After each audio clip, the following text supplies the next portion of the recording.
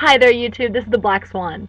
So recently, I was asked a question through my inbox by a subscriber of mine called uh, Saturn Dust, and she wanted to know where I learned to read tarot.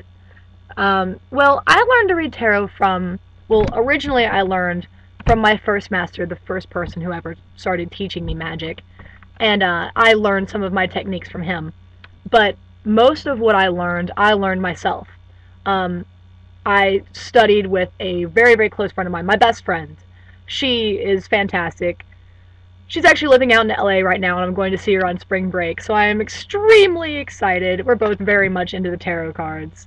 But um, I learned pretty much from just researching and finding things online and going to the library and looking stuff up and getting a hold of my own deck. The first deck I ever had was a Rider Waite deck, and that's why I advocate them so much because I learned so much from that deck and it was really pathetic because they even had like you know on the bottom the subscription of what each one meant.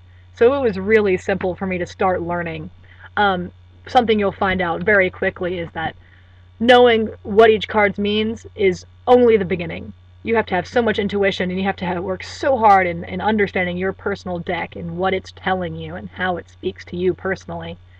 Um, but yeah that, that's about how i started with it.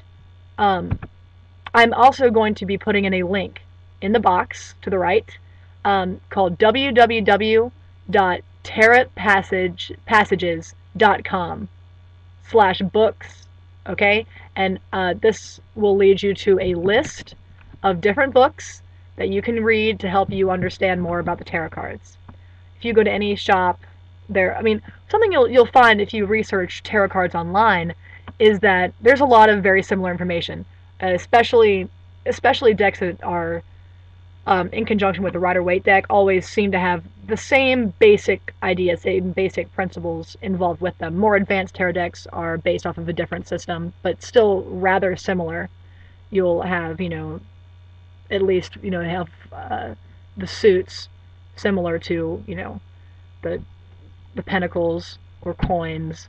Uh, you'll have, you know, swords and wands, and um, you'll you'll usually find things that are pretty similar. So I wouldn't worry about getting mis a lot of misinformation when it comes to tarot card readings because it's pretty concrete what those decks mean. Um, so anyway, I'm going to put those links, that link in the box. So I hope this helped. Bye.